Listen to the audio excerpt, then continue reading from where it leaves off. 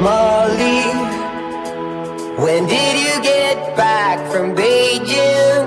I gotta know. Ooh, Molly, are you stuck in nostalgia?